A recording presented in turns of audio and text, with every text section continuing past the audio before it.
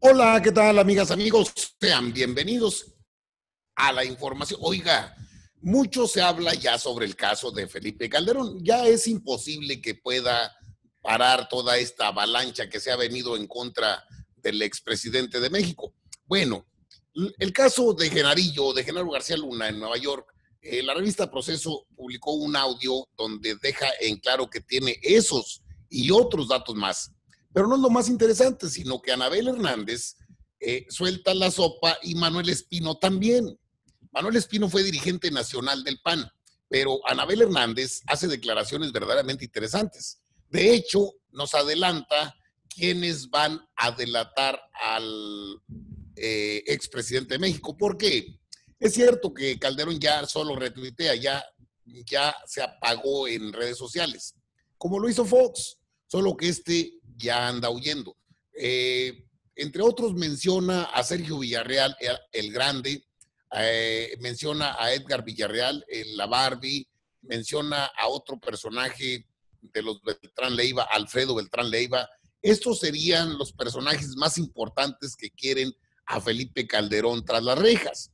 Y esto nadie lo ha dicho, porque obviamente eh, en este momento no se sabe el paradero de Felipe Calderón.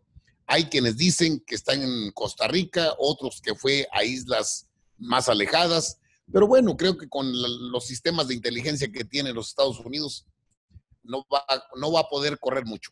Con el poder, bueno, no está enfrentando a México, eh, se ha confrontado hasta con Donald Trump ahí en los retweets. Y para abordar el tema, mire que tengo conmigo al pequeño gigante del YouTube, Iber Alejandro. ¿Qué pasa, querido amigo? ¿Cómo ves este asunto de tu gran amigo, el comandante? ya, amigo.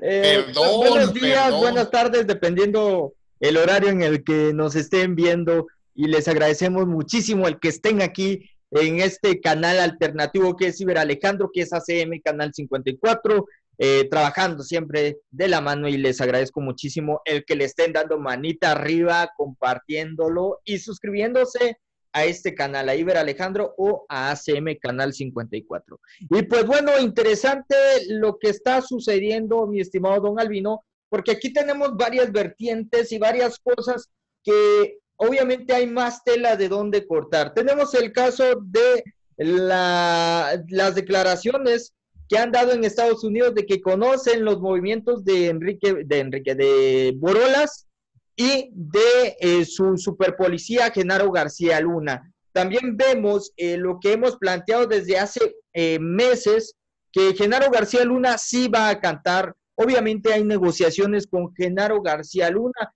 pero no solamente con él, sino que hay varios personajes a, raíz de, de que se desenvuelve la guerra contra el narco, que fueron obviamente castigados por el gobierno federal presidido por eh, el comandante Borolas. Y uno de ellos es la Barbie. Y hay que tenerlo muy en cuenta porque Anabel Hernández nos está abriendo más el espectro de toda la información que se está teniendo en estos momentos de Borolas. ¿Por qué? Porque señala a la Barbie como uno de los principales negociadores con el gobierno de los Estados Unidos. Y no solo a la Barbie, sino que hay otros más. Sin embargo, tenemos también a Genaro García Luna, que obviamente ellos ya no tienen nada que perder, porque en la cárcel ya están, y el castigo severo ya lo están teniendo. En el caso de la Barbie, hasta Cristiano se volvió, ¿eh? eh está, canija la cárcel, ¿no? Que hasta Cristiano te vuelves. Pues está bien, a quien es libre de reivindicar su camino, enhorabuena, pero lo cierto aquí es que ellos ya no tienen nada que perder y vaya que si les ofrecen unos milloncitos y libertad, pues bueno, con gusto van a, van a cantar. Y es verdad lo que comentaba en su video, mi estimado don Albino, el hecho de que Borolas ya huyó, pero lo platicábamos eh, detrás de cámaras. El gobierno de los, se enfrenta al, al poderoso gobierno de los Estados Unidos, se está enfrentando a software maliciosos 10 veces más poderosos que Pegasus para que, para que ustedes dimensionen qué tan grande es el nivel de la inteligencia que tienen en Estados Unidos para rastrear a personajes como el Borolas, o sea, no puede huir. Además, contamos con el gran recurso económico con el que cuenta Estados Unidos, capaz de comprar las voluntades más inquebrantables. Y ahí tenemos, obviamente, a Borolas, que se, está, que se rodea de puro traidor. ¿Y quién? Cualquiera de sus amigos, pues, ¿quién no va a querer estar disfrutando de una playa en Miami con Ferraris de lujo, con unas muchachonas a cambio de entregar al, Borolas? O sea, es cuestión de lógica. Borolas va a la cárcel. Donald Trump no ha, no ha hablado sobre el caso Borolas porque sabe que es su punto fuerte para estas elecciones y de nosotros se van a acordar, porque muchos nos, nos han criticado, pero de nosotros se van a acordar en estas elecciones que vienen, mi estimado Don.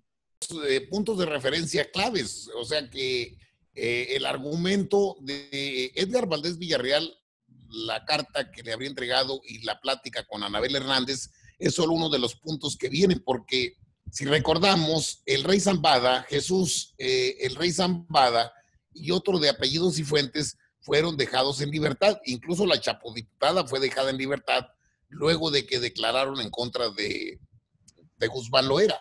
Entonces, pues, eh, sí los dejaron en libertad, o sea, no están tras, tras las rejas. Esos son los acuerdos a los que llegan luego este tipo de personas cuando requieren a, un, a alguien allá en Estados Unidos. Y es el caso de Felipe Calderón. ¿Qué, qué ofrece Felipe Calderón? Es un suculento botín electoral, pero aparte está coludido a más no poder en el caso García Luna.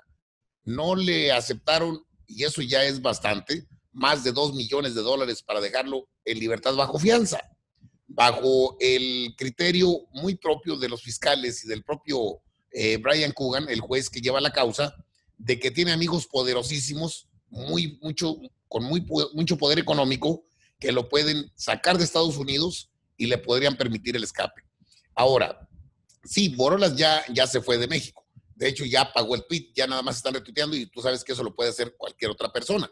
Eh, ya se apagó. Eh, ¿Qué sigue? Pues la huida. ¿Y luego qué sigue? La delatada, o sea, lo van a delatar. La delación, ¿quién, va, quién, quién será? Y ahí entra en juego todo esto. Está Sergio Barragán el Grande, está Alfredo Beltrán Leiva, que no va a perdonar lo que le hicieron a su hermano Arturo, está Edgar Villarreal, y esto lo declara la misma eh, Anabel Hernández. Es decir, nos da elementos para decir, por ahí puede venir una de las venganzas que no espera Felipe Calderón o que no esperaba. Ya olvídese de partidos, ya olvídese de todo. Lo que Calderón ahorita, eh, eh, hoy en día, va a buscar es esconderse hasta debajo de las piedras. Y eso ya es lo que se avecina. No va a tardar mucho porque la, elección es en este año. Eh, la elección en Estados Unidos es el 2020, es 2020, el año actual. Y Joe Biden, pues no levanta mucho, pero sin embargo ellos fueron los que soltaron la bomba. Eh, recordando que Jacobson, la ex embajadora, estuvo con Barack Obama. Y, pero el tiro no es con ellos. El problema de Calderón está en Nueva York, en la corte de Brooklyn, allá donde está Brian Coogan, el juez. Pero aparte están estos personajes de los que habla Anabel Hernández, que seguramente querrán algo de ese platillo frío que le llaman venganza, porque eso sí sería una venganza. Así como nos tienes acá tras las rejas en el gabacho, así te vamos a traer, Felipito, para que te pongan tu trajecito naranja y sepas lo que es amar a Dios en tierra de ellos. Entonces, está interesante lo que se viene, porque sí, pues ya, ya se peló, ya, ya anda fugado, sí, ya. Ahora bien, ¿y quién lo va a traicionar? Eso es muy interesante. ¿Cuál va a ser el que suelte la sopa? Esto va a estar muy interesante. Todavía no se acaba la telenovela de Calderón. la telenovela de Calderón, yo concluyo, mi estimado don Albino, sigue dando de qué hablar. Seguimos en, los datos concisos, en los datos precisos. Margarita Zavala trata de defender a su marido, a su marido en las redes sociales, Buruelas eh, también está siendo respaldado por la prensa que todavía controla a Borolas. Entonces, y el grupo empresarial, obviamente, defendiendo a este corrupto. Ahora dice este, el Borolas que el presidente Andrés Manuel López Obrador está utilizando su caso para minimizar lo del hijo de Bartlett, que por cierto, ya lo explicamos aquí en este canal. Y pues bueno, mi estimado don Albino, esa sería mi conclusión. Perfecto. Yo en conclusión le digo, acuérdese de estos nombres, de ahí va a venir. Edgar, Edgar Valdés Villarreal, la Barbie, Alfredo Beltrán Leiva, o bien eh, Javier Villarreal, alias el Grande. Cualquiera de estos va a ser uno. Y hay otros que también lo quieren por allá. ¿Quién lo va a delatar? Esa es gente que tuvo mucho poder en este país y Calderón lo tuvo, pactó y traicionó. Le toca pagar, ni hablar. Eh, Borolas, te toca mascar barrote pronto. Por allá en Estados Unidos te veremos y no de vacaciones. Mi querido amigo, esa es la conclusión. Esperemos que venga el sablazo y que entonces sí, como el pueblo de México, una gran mayoría quiere, verlo donde tiene que estar. Amigo, nos vemos en la próxima. Nos vemos a la próxima.